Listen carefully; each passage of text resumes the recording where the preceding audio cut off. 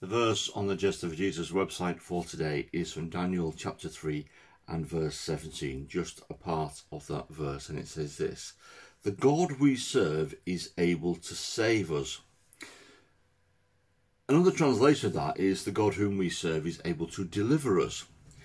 What's it talking about? Well, this is a story of Shadrach, Meshach, and Abednego being thrown into the fiery furnace by Nebuchadnezzar because they refused to bow down to idols. We talked about idols yesterday. Well, they went in there fully believing in God, 100% believing in God, putting all their trust in God. That is some trust, that is some faith. And they say the God who we serve is able to save us. Not the God who we serve might be able to save us, could save us if he wanted to. There it is there, it says, the God whom we serve is, that's the important bit, is able to save us. That is faith. That is putting all of your faith in God, all of your trust in God. There's only one way that we can be saved, and that is by God.